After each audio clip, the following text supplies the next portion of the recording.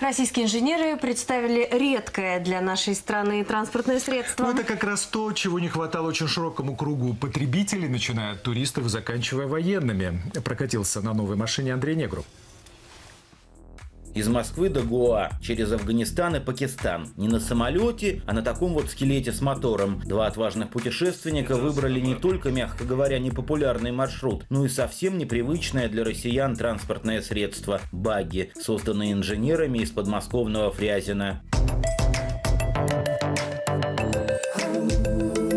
Кадрам скоро три года. На них один из пилотных экземпляров. Машина ни разу не подвела, и теперь ее выпускают серийно. В первую очередь для любителей туризма, кому квадроцикл слишком мал, а внедорожник чересчур комфортен. Данный автомобиль может перемещаться как по дорогам общего пользования, так и по бездорожью, включая очень глубокое. То есть это э, овраги, канавы, лужи, горы, перелески, поля и прочие прелести. Все это может быть на скорости 140 км в час. При этом водителя и пассажира не слишком трясет, благодаря амортизаторам, рассчитанным на очень жесткие динамические нагрузки. Чувствую себя комфортно, руль крутится мягко, легко. А, из-за того, что стоит электроусилитель руля. Чем сто раз услышать, лучше попробовать прокатиться. В чистой одежде сюда лучше не садиться. Весь испачкаешься. Пришлось вот так нарядиться. Помимо комбинезона, шлем и пятиточечный ремень безопасности, как в гоночном болиде. Только здесь куда просторнее. Двигаемся действительно мягко, но скорость ощущается из-за ветра.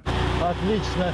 Надо сказать, подобные машины в России продавались и раньше. Американские и из Китая. Но если они выходят из строя, запчасти приходится ждать очень долго. Этот баги на 90% из отечественных деталей, что можно найти в любом придорожном автомагазине. При этом инженеры все сделали, чтобы вездеход не ломался, даже в сверхэкстремальных условиях. Двигатель автомобиля находится сзади, и он э, находится достаточно высоко. Обусловлено тем, что при э, глубоком погружении в воду может возникнуть некая проблема за, с его остановкой.